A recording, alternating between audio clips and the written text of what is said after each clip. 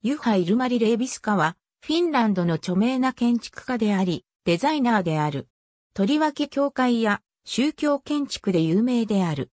ミルマキ教会、バンター1984ミルマキ教会、平面の構成分析技師であった父親と教師であった母親の間に生まれ、ヘルシンキ工科大学で建築を専攻し、1963年に建築家としての資格を得る。ヘルシンキ工科大で助手をしながら、自身の事務所を1964年に立ち上げた。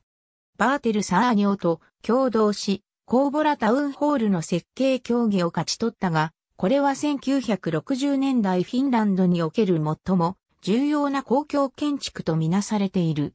1970年代、80年代、90年代にレービスカは世界的な注目を集めた。それはフィンランド各地に似たようなデザイン言語を持って設計された教会建築によってであった。彼の熟練したスタイルは、ドイツバロック教会の劇的な自然光の完成と、1920年代のオランダのデスティルの構成原理、例えば並行する自立壁を並べることで空間を定義しつつ、しかし伝統的な囲われた空間を概念解体することとを組み合わせたところにある。教会建築に不可欠な部分である照明器具はレービスカ自身によってなされてきている。これはまたアルテック社の商品ランナップの一部ともなっており、アルテック社はまたアルバーアルトデザインの照明器具の販売者でもある。レービスカはまた建築家のビルヘルム・ヘランダーと共にヘルシンキにサッフェ事務所を構えている。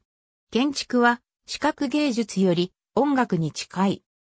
建築や建物をその内部の空間やディテールとともに特質化するとは、環境の有機的一部となさしめること、その大きなドラマ、運動や空間的な連続の一部となさしめることである。私にとっては、建物がそこにそれとして立つこと、建築の一つとして立つことは無意味である。建築や建物が立つことの意味は、一重にその周囲や生活や光との対位戦律的なあり方を通してのみ発生する。ユハ・レービスカ、AU1995 年4月号13ページ。ありがとうございます。